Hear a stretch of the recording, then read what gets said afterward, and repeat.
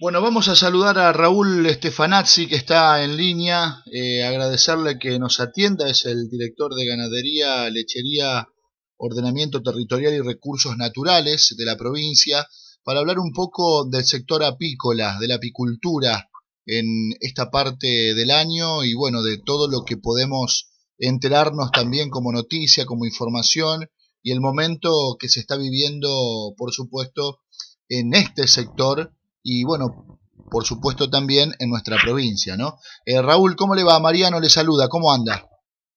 Muy buenos días, Mariano. Un saludo muy especial a toda la audiencia de tu programa y a todos los ciudadanos de Santa Fe. Bueno, muchas gracias. Y bueno, queremos saber un poco eh, cómo viene el tema de la apicultura, el tema de las abejas, ¿no? A nuestra provincia. Bueno, mira, ha sido un año un poquito complicado y si le vamos a poner un término simple, raro en su comportamiento, porque el año terminó y vos sabés que cuando termina el año empieza la temporada de cosecha de la miel y cuando comienza el año siguiente continúa la cosecha, ¿no? el año pasado terminó eh, con situaciones de temperaturas eh, tirando a, frías, digamos, en la primavera avanzada. Esto perjudicó en algunas zonas las floraciones, el trabajo de pecoreo de las abejas. Y después ya vino algunas situaciones más complicadas que conocemos, como fue el efecto de la sequía en el verano, ¿no?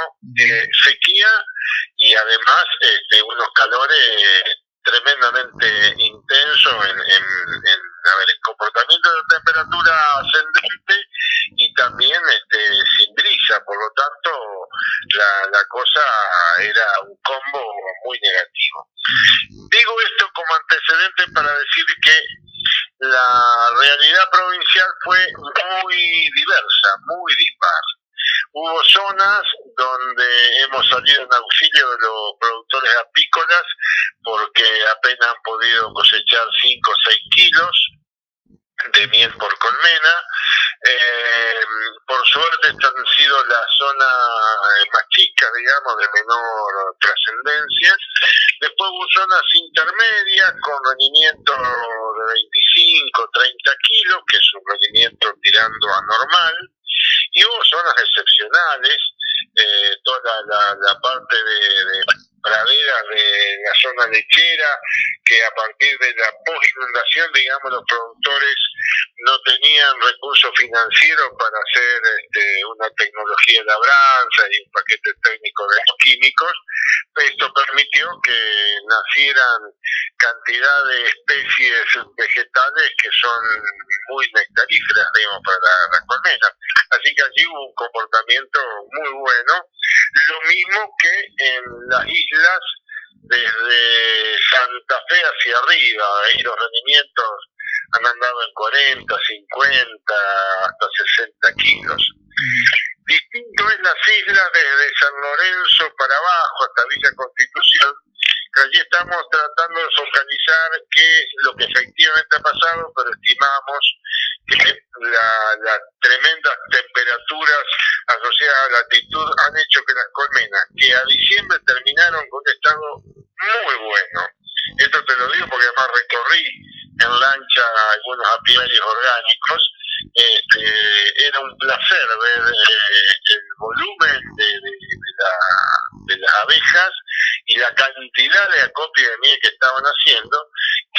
También se la, se la comieron, como dicen los apicultores, en el verano.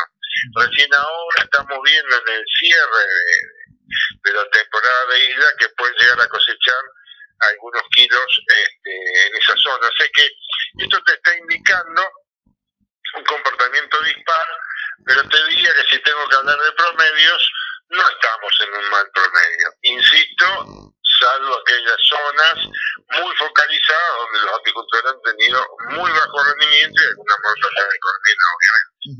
Eh, Raúl, eh, por allí eh, hemos hablado también con algún productor apícola y nos ha hablado del tema de, de las fumigaciones, de los problemas que han tenido y de la dificultad que se le ha generado.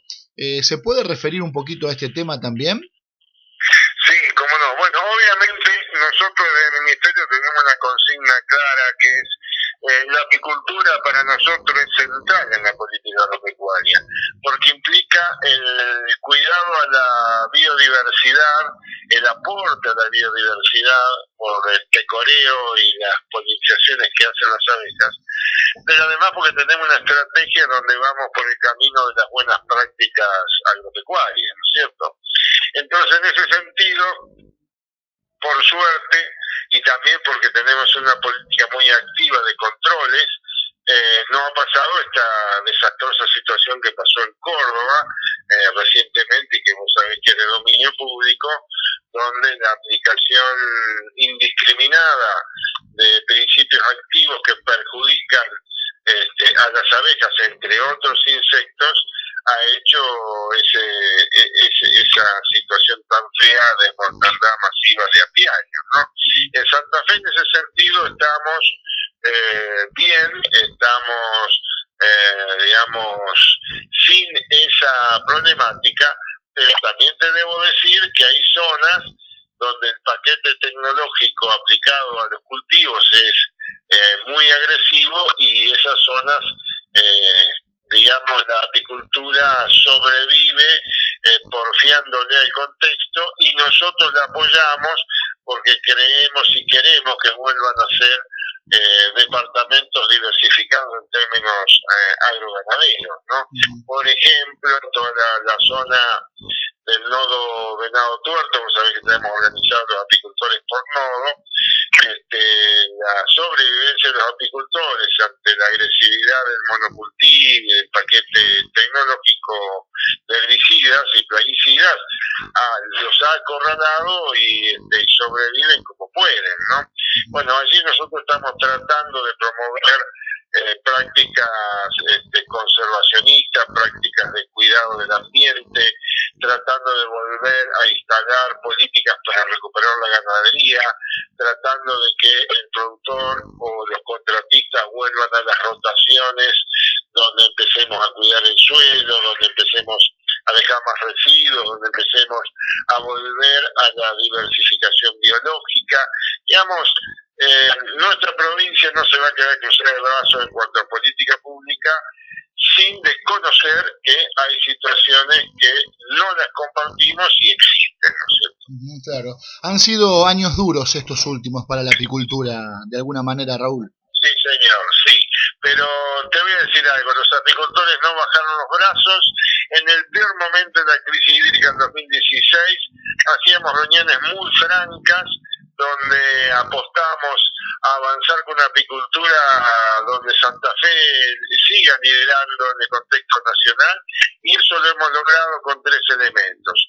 Eh, fortaleciendo la organización de los productores, estando cerca de ellos con políticas activas para promover este, más formas eh, con herramientas comerciales como cooperativas, asociaciones, cámaras y una impronta fuertísima en el valor agregado. Hemos desarrollado líneas de hidromiel apoyando a los productores en ese sentido, que están teniendo un muy buen mercado, propóleo, polen, jalea real, mieles calificadas como monoflorales y con protocolos orgánicos y hemos acompañado una delegación en el año pasado, mitad de año, a, Estambul, a la Apimondia del, del año 2017, donde las empresas apícolas santafesinas realmente marcaron la impronta en el contexto argentino y en el mundo. Perfecto. Le agradezco mucho, Raúl. Le dejo un abrazo. ¿eh? Un abrazo, muchísimas gracias. Por un saludo especial para toda tu audiencia. Gracias, hasta luego. El ingeniero Raúl Estefanazzi, el director de ganadería, lechería y ordenamiento territorial y recursos naturales del gobierno de la provincia de Santa Fe.